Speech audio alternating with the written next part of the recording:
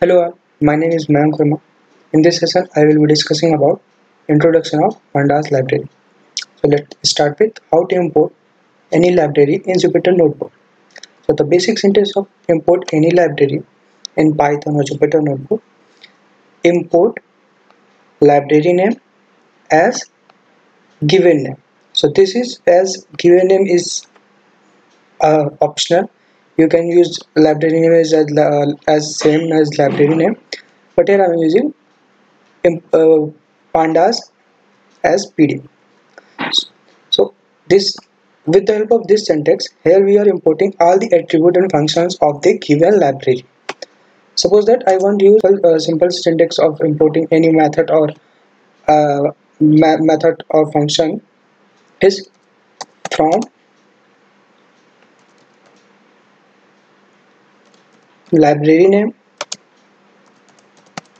import. Function suppose that I want uh, I want import uh, uh, a function to read the CSV file. So here I am using simple function read underscore CSV so in this syntax here I am importing all the attribute and uh, method and functions of pandas library. But here in this line of uh, code here I am importing only the read underscore csv function from the pandas library. So this is the basic syntax of how to import the library in Python. Okay, now di dir function. dir function return a list of attribute and method that is present in a given library name. So let's see the output the dir function. Tier of pandas. Oh so pd okay. So here di for dir function return a list of the all the attribute and method present in the pandas library. So let's uh, print in a compact form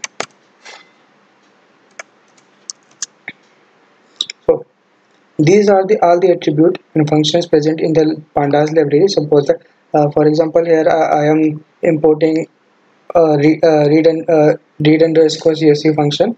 So this is function the read underscore excel function and read underscore json function. So these are the basic functions that are used for the import the data in python.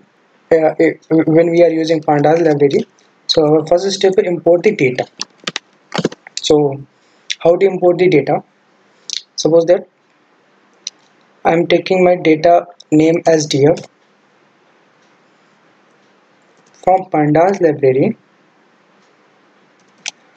We use read function to read any file like csv file excel file excel file hdf file html file json file. So these are the function. With the help of these function we can import these uh, data that is present in this uh, file. We can import there. So let's take an example. Suppose that I have uh, this is my uh, I'm importing customer data. So this is my customer data in Microsoft Excel worksheet. So this is my Excel excel uh, excel sheet excel file. So here i'm using pd read underscore excel.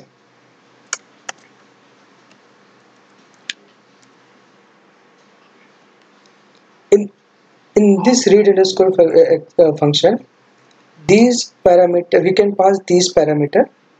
So our first parameter is IO. IO is the is like uh, here I am passing the file uh, uh, file path of the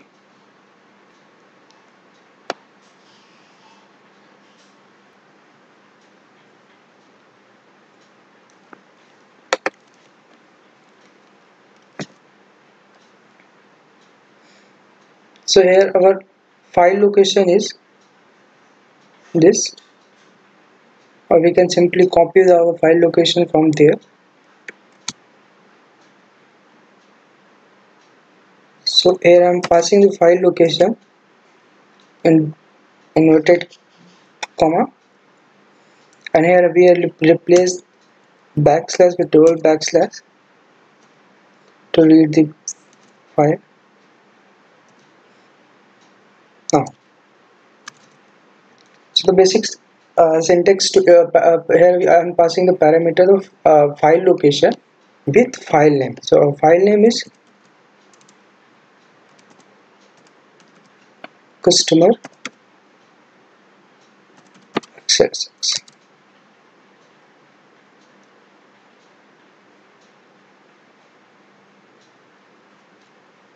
Now let's take overview of uh,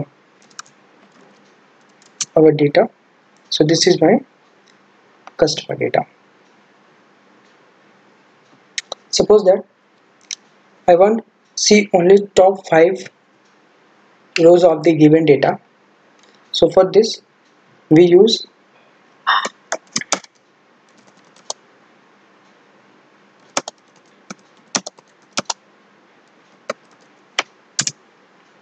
df dot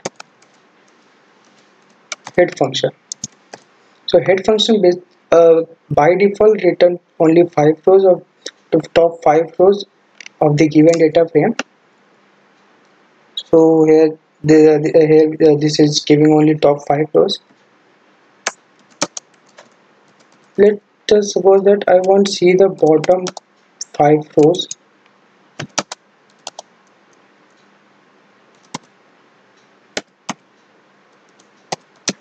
Of data for this we use tail function. By default tail function give only five rows. We can also pass the manual input. Suppose that I want 10 rows top 10 rows of the given data. So this is top 10 rows and top bottom 10 rows of the given data. Okay. Let's start the overview of data so I want all the information of this customer data. So information of data df dot info function give me all the information of the present data. So here with the info function return the range of the index here uh, my data have uh, range uh, only uh, over 10,000 record. Number of column column name with not null entries in all column data type of the columns count of data type present in the data. So this is info function return basic information of the data. Now suppose that I want shape for data. For this we simply use shape function shape function return number of rows and number of column. This is a tuple output where first in uh, uh, first item is first element is number of rows second element is number of column suppose that I want only column number of rows. So for this the first element of the, the uh, above tuple is first element of the above tuple is 0 the first ele uh, element location is 0 so this is my number of uh, this is rows number that is present in our data. Suppose that I want only number of column name number of column present in data. For this we now I want to see the column name of the data.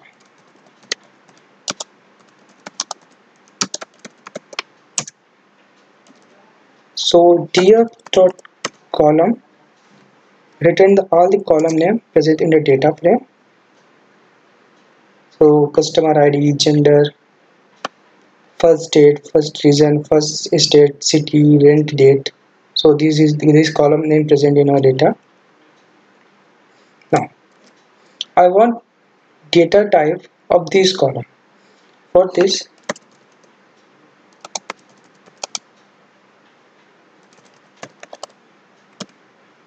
data type column.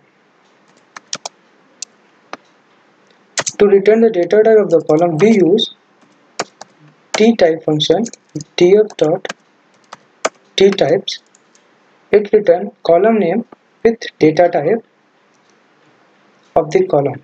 Here customer id is integer gender is object male and female and recent date date date is date time 64 so that is the, the uh, data type of the date time and float for customer value by item integer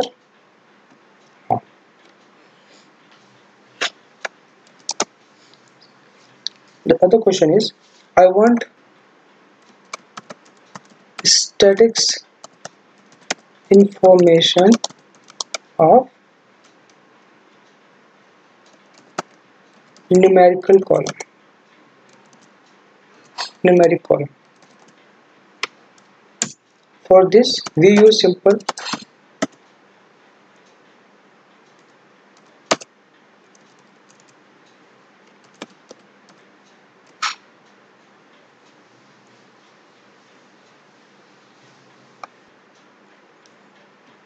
For this we use simple describe function. This describe function return the all the statics information of the int and float column. All the column whose data type is int or float data of describe only return the information of that column. So this is all these uh, column is my numeric column so it's written the description of this column like count the count of the values mean of the uh, mean of the uh, customer id so and standard deviation min minimum value 25% quantile 50% quantile 75% quantile maximum value present in the column. Now i want statics information of categorical column. Category column. For this we use data dot describe include is equal to 4 in the above output here we can see that gender data type of gender column is object. So here o is stand for object data type so here we can see that gender first state region first state first city. These columns data type is object. So it's written the count unique values top and frequency of the values.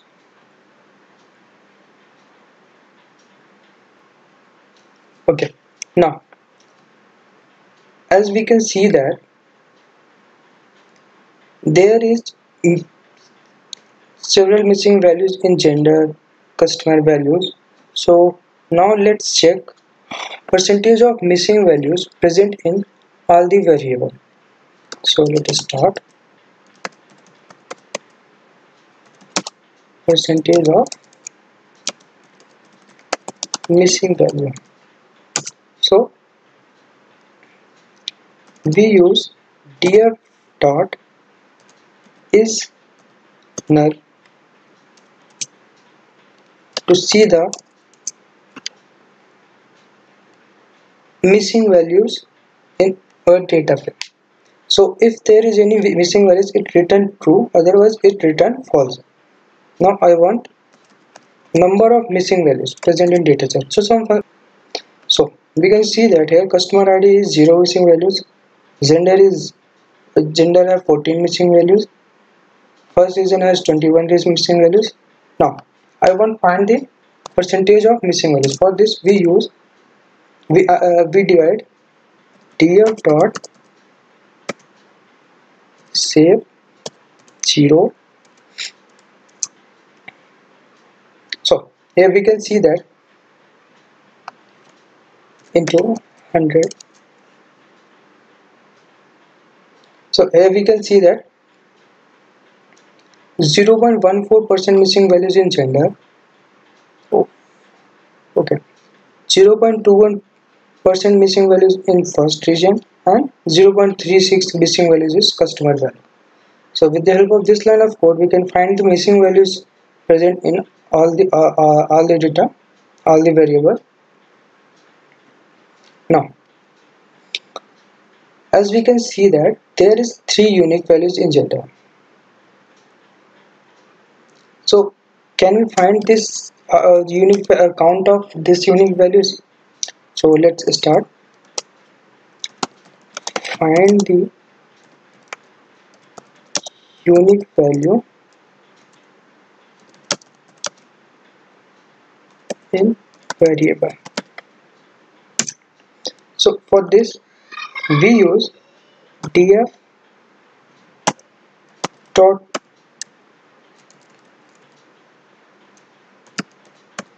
gender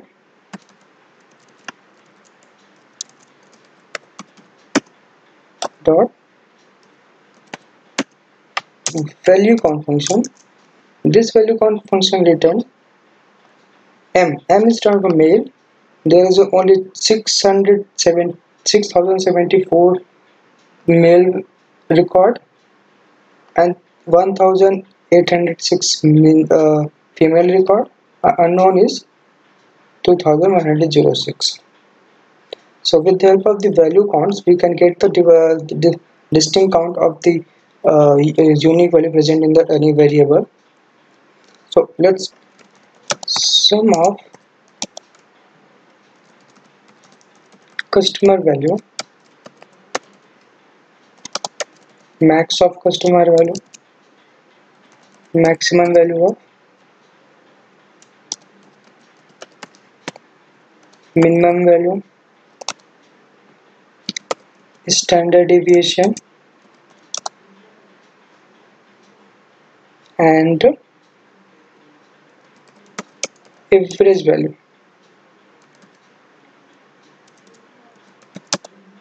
of customer value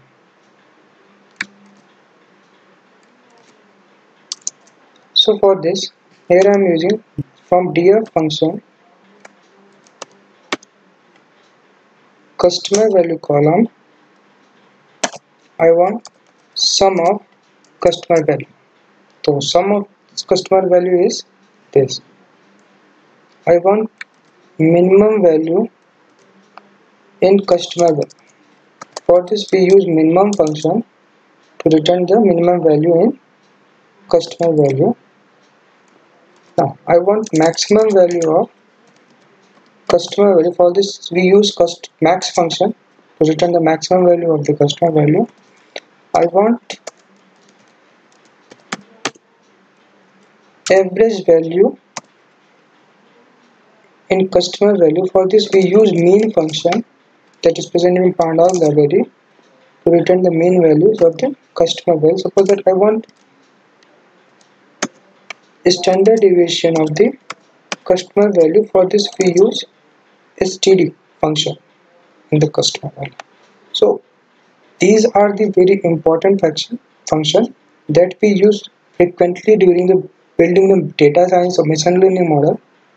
So all these steps that I covered here this is the basic overview of our data frame when we are importing in Python so these are the very significant during when we are building our model and this is the first step to get the data overview of the data. So this is these are these, these are the basic use of the pandas library. In next session we will cover the data analysis by using pandas library. Thank you